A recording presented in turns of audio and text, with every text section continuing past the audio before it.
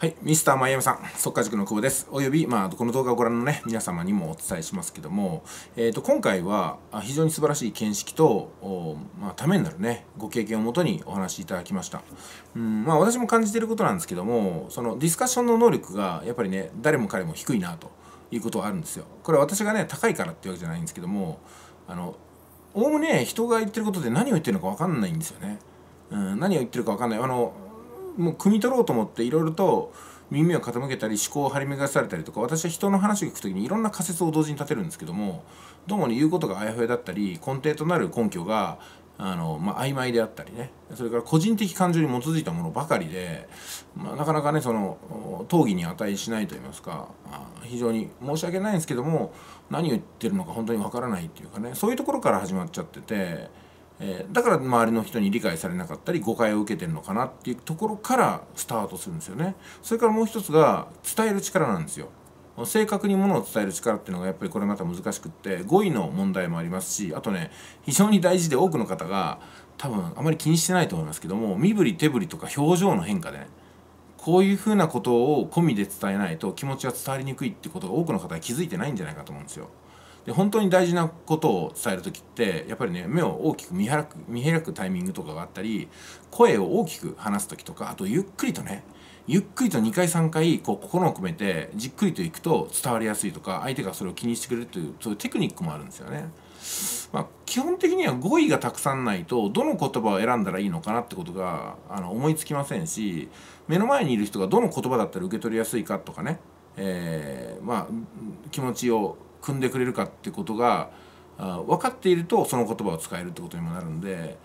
うん、今深草さんがねいろいろ言われてたのを見てそうだなと思いました。それでちょっとね変な想像したんですけども確かにねこれだったらインターナショナルスクールとか行って英語とかフランス語とかドイツ語をマイメールというところに行った方がもしかしたら自分がいじめられてることすら気づかないからね。幸せに暮らせるのかなとか思っちゃったりするんですよね。まあこれはちょっとね本論とはずれるんで ちょっと思いついただけなんですけども。うんな何を言いたいかっていうとどう捉えたかによっても自分の感情がどっちに向くかってことが決め決まるんで例えばねひどい目にあったとしてもあ鍛えられてるんだなと思う人っているんですよ。もしくは人の言うことあんまり気にならない方っているんですよ。あの自分以外の人間のポジションがあんまり大きくない方ね。で自分に対して励ましてくれたりそれから喜んでくれたりとかね。応援する人のメッセージはすごく強く受け取ったりとかね、うん、でも人ってなんかねこう考えてみると逆で嫌なことをたくさん受け取っていいことはこの程度はいいことじゃないよねっていうふうに軽んじたりするうんのかなと思っちゃうんですよ。本当はね今日朝目が覚めるだけですごく幸せなことであってあの世界で一番大切な人が目の前にいることでもう何も求めるものがないはずなのになぜかねあのこう愛する人にすら不満を向けてしまったりとかねあの自分のいい思い通りにならないことに対してフラストレーションを感じたりとかしてしかもそれを別の場所で「いやうちの旦那はね」とか言ってなんかねあのもう悪口言ったりとかねうちのね嫁はねとかどっか知らないところで言ったりとか非常になんかこれはあのそれで何かいいことが起きるんでしょうかとか思っちゃったりするんでねあの自分が何者でもないってことにやっぱり気づかないといけないのかなと思いますよね。はいまあ、でも卑屈になる必要もないんできちんと自分の権利とかね主義主張はこれは正確に伝えていくことは大事かなと思いながらあなかなかねミスターマイアミさんっていうのは今マイアミのことを全然話してないのに深い見識をねこうやって学び取る方ができてあいいなこの毎日のディスカッションとか思っちゃいますよね。はいえーと、今回ね、えー、そのパワハラのことについてもお話しくださいました。なんかね私が考えている、まあ、理想のと言いますかあなんか、うん、世の中のこうなったらいいのになっていうのが結構入ってて私も好きだなと思いました。それはですね一つの会社のメンバーとして属するんじゃなくて自分のスキルをどこの会社に、えー、提供しようかなっていうふうに考えていく思考なんですよ。で一番自分の能力を高く買ってくれるところ丁寧に扱ってくれるところと契約してそこの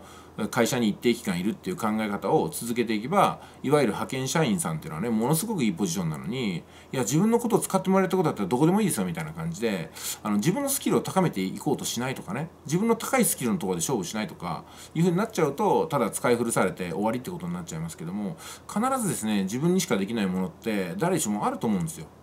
だから誰にでもできることをやるんじゃなくて自分にしかできないことをやるっていうふうなね思考でいかないといけないのかなと思いますよね。だから誰でも簡単に勤められる職場ですみたいなところに行っちゃったりとかね。幅広い人を採用してますところに目をいっちゃったりとかね。これ何なんだろうなと思いますよね。あの我が社は若干名定員1名の募集ですと。でもその1名にはあなたが必要なんですってね。久保哲郎じゃないとダメなんです。だから定員1名での募集なんですって会社がいっぱいあればいい話なんですよね。まあ私に対してはそういうふうなニーズはないと思いますけども結局はうんどんな人を求めているところに自分がそのどんな人とどれだけイコール近いのかってことだと思うんですけどもなぜかねうんなんか働きたいなって思う人って待遇が一番いいところとか保険がついてるところとか保証があるところとか勤務地が近いところとか今まで経験したことをそのまま評価してくれるところみたいなねなんかそういう発想になっちゃうんですよね。うん、だからやっぱこう丸ごと自分の生身で勝負するっていうのなんか表現難しいんですけども代わりのできないことだからこそ自分が選ばれたっていう風にねなっていくと、えー、お互い対等な条件なのかなと思っちゃいますけどね。えまあ私はちょっと就職に関してはうまくいったことがないんで何とも言いませんけども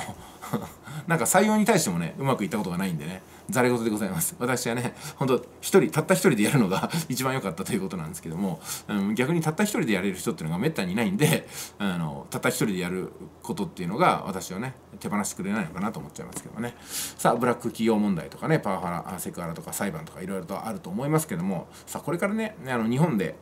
仕事を選んでいく時にこの今回のミスターマイアミ様の考えっていうのはすごく参考になるんではないかなと思っちゃいます。はいそれではですね今回はあミスターマイアミさんにこれが聞きたいなというものっていうのはあ前回までで結構ね済んじゃったんですよ。まこれはね何をもとに選んだかっていうと私の視聴者さんに必要な情報だと思ったから私があ視聴者さんにね代わって聞いてみたってところがありますけどもまあ UFO とか宇宙人は私の個人的なね趣味ですけどもね。さあ次なんですけどもえーそうですね。ミスターマイアミさんの個人的なことを聞いていいかなとか思っちゃいますけども、個人的なことを聞いちゃっていいでしょうかね。大丈夫でしょうかというのが今回の質問です。ちょっとね、ワンステップ置いてから次の質問に移らせていただこうかと思いますけども逆にミスターマイアミさんからあ私の方にお尋ねになりたいことがあったらねどんどんお寄せいただきたいと思います、えー、今回はね、えー、ミスターマイアミさんの個人的なことを聞いていいですかっていうような イエス・ノーで答えられる簡単なメッセージになります、えー、でもね今回動画いただいて非常に、え学びが多かったんで、えー、ぜひねあの視聴者さんも元ネタっていうところからあこうミスターマイアミさんの動画放送を見ていただければと思います。では以上です。